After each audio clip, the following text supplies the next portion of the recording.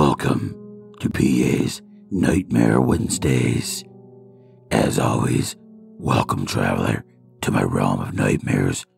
Allow me to be your personal assistant into my realm. Come in, take a seat, get comfortable, for when you step into my realm, there's no stepping out.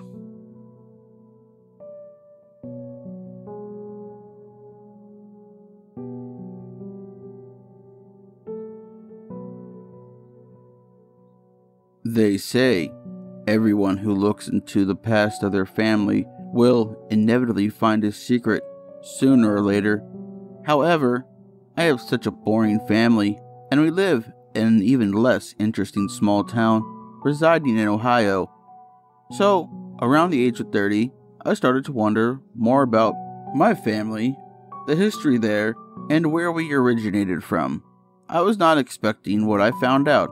However, what I found out has caused me to never be able to feel safe around my family ever again.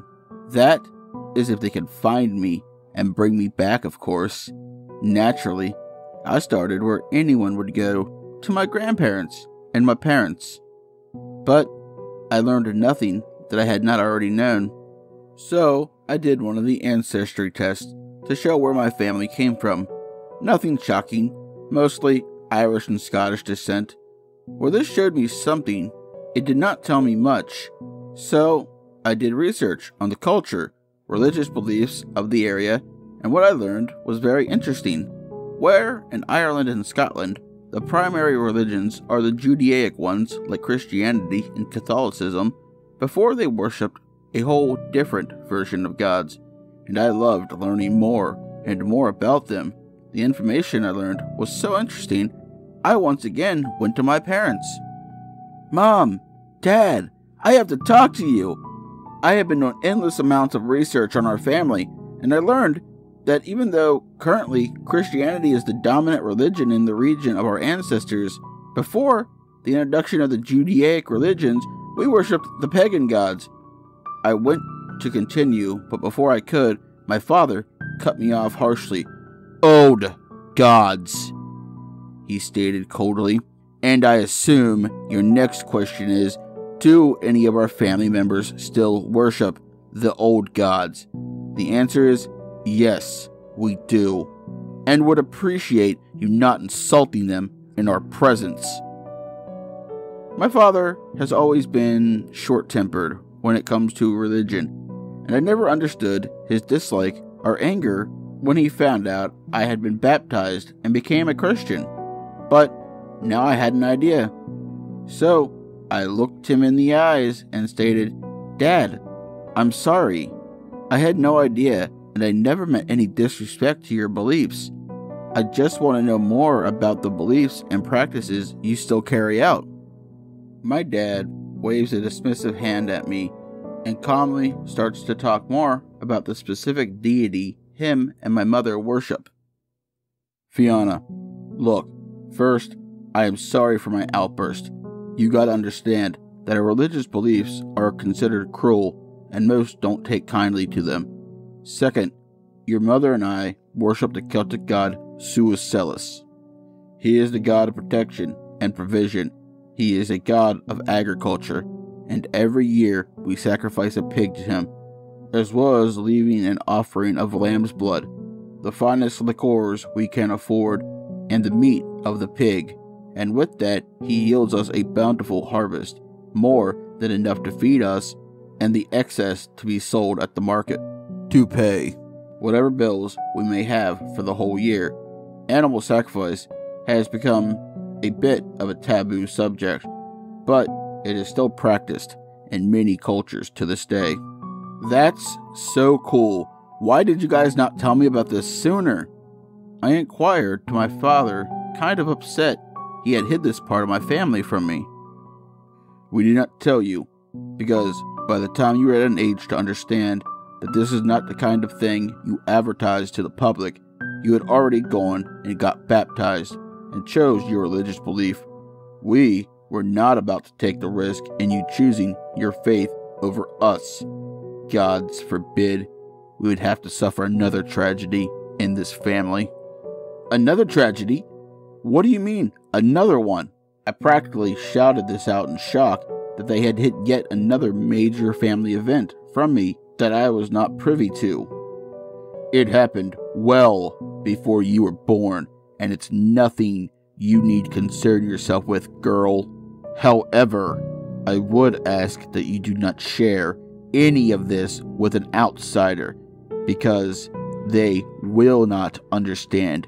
We have lived here all of our lives and are comfortable here, my dear. The way he said this to me, I don't know how to explain it. I felt fear and chills run down my spine. I excused myself, telling them that I was tired and just wanted to rest. Once I got up the stairs and to my room, I could still hear my mother and father arguing. Could not hear what they were saying at first, but once I cracked open the door and could hear my mother crying, she was saying, She doesn't know anything. Just let her go. She will lose interest in learning more shortly. Everything she could find has been long wiped, and anyone other than us who knows what happened is long dead. The only remaining proof is in your safe in the bedroom. So just don't worry, alright, honey? Fine. If she stops asking questions, I'll forget about this all. I heard my father angrily state, but he did love me, and my safety has always been most important to him. I waited for my father and mother to go to bed. After hours, I finally heard my parents walk up the stairs, along with the footsteps walking towards my door. Lying in bed with the lights off and my back to the door, the door cracks open, hearing my father whisper my name. Fiona, are you awake? Not stirring, my father assumes I am asleep and shuts the door. I waited for my parents' door to shut. Getting out of bed, I packed my bags. I was planning on getting into my parents' room and getting into the safe. After I achieved this, I would get out of this house. I could not stay in this house a moment longer than I had to with the people I could no longer trust. The next morning, I got up and went downstairs. My mother and father were sitting at the breakfast table. Hey, Mom, Dad, sorry for yesterday. I did not mean to pry or upset you. I am not going to dig anymore. I love you both, and I don't want to do anything to upset or bring up hurtful memories. I said, in hopes of placating the suspicion of my father, making it easier for me to get into the room and access the safe. After weeks of waiting for an opportunity to get into my parents' room, they finally told me they needed to make a trip to the market. After asking me if I wanted to accompany them, I declined, saying I was not feeling well and I just wanted to rest. Before my parents left the house, they told me once they got back, they would make me some chicken noodle soup. I told my mother and father thank you and that I loved them as they walked out the door. After I heard them pull out of the driveway, I made my way up to my parents' room. I had no idea where the safe was, but being that my father was predictable, I found the safe behind the family portrait, and guessing the code as my birthday allowed me entry into the safe. I quickly gathered the materials and left the house in my car. I drove for hours and had to fill up multiple times using cash, of course. I did not want my father or mother to be able to track my card. Getting into the hotel, I chose a room that had a view of the parking lot. Just in case my mother and father found me, I opened the files. Most of it was the normal stuff you would expect to find passports, birth certificates, social security card, you know, normal documents you keep safe. However, one of the documents was different from the others. It was a missing persons report for James O'Brien. Wait, that is my last name. I say out loud in confusion. Reading further into the papers, I found out that I had a brother that went missing at the age of eight. My parents reported him missing and he was never found. But given the fact that my parents went to all this effort to hide this from me, I have to assume that they played a part in this disappearance. I could not keep my eyes open much longer, but before I succumbed to exhaustion, I rigged my laptop to upload my findings to the cop if I didn't put a password into the program every four hours, just to keep myself safe. Falling asleep, I set my alarm so I could put the code into the computer. Lying down, I turned off the lights and quickly fell asleep. My alarm goes off and I turn on my light, but before I could put the code into my laptop, I looked outside and my blood ran cold. I noticed my parents' car next to mine. The clerk of the hotel must have ran my card instead of just holding it as collateral, and they tracked me here. I packed my bags and threw the code into my computer. Rushing to the door, I flung it open, and my parents were standing on the other side. They forced their way into my room, and my father spoke to me in a warm and authoritative tone. Look, let us explain. I know what you found, and it looks bad, I'll admit. Hear me out. We had a particular harsh winter, and we lost all of our livestock. We did not have a sacrifice for Sucellus, and if we didn't do something, we all would have died. So, I did the hardest thing I ever had to do and used your brother as the sacrifice that year. I have never forgiven myself, but if you try to turn us in, I'll use you as the next one. My father ended it with so much venom, I jumped back in shock. Dad, how could you? I cried out. If you harm me, I have my laptop set to upload all this information to the cops. If you leave me alone, I'll not turn you in. I don't want to die. All I want is for you to leave me alone and never contact me again. After this, my father took the information and left me alone.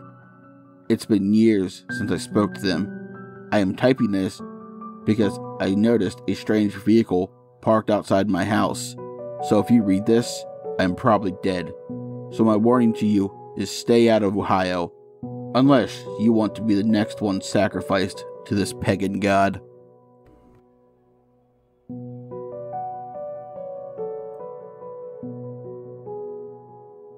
Today's story is The Family Secret, written by PA Nightmares and co written by To_42 Reads. She is an amazing author and a very talented narrator. You should definitely check her out. If you liked what you heard today, chances are you'll love what you hear on her channel. Her links will be in the description below. Also, don't forget to like, share, comment, subscribe, and ring that bell for all future content. And remember, travelers, once you step into my realm, there's no stepping out.